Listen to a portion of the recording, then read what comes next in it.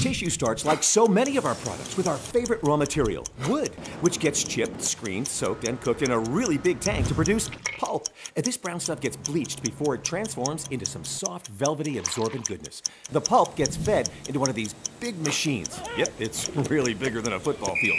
And after many steps of squeezing, rolling, and drying, we get these giant rolls of raw tissue called parent rolls. We've even got special trucks just to carry them around called elephants.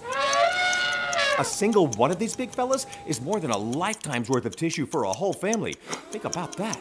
Next, these big fluffy monsters get converted, all the way down to individual rolls. They get unrolled, perforated, and embossed. Now, we roll them into logs where it mates up with those all important cardboard tubes. And finally, these get sliced up into those individual rolls we know so well. Converted. And now, they roll onto wrapping and boxing and are shipped to waiting shelves all over the U.S. Tissue, perhaps our most essential product.